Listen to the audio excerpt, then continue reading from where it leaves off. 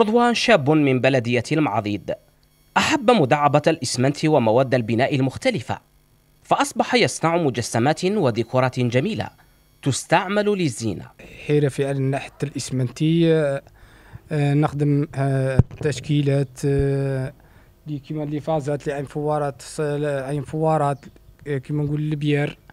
آه عندي نخدم كيما نقولوا لي رومبا لي ساحات لي الساحات العمومية لي جاردات كيما نقولوا البيوت المنزلية. خدمت بيوت منزلية يعني شافوهم الناس عجبوهم يعني ولاو عليا طلبات. يعني آه بطلبات كثيرة. هو فنان عصامي عمل على صقل موهبته ومداعبة مواد البناء لتزيين المنازل والمساجد.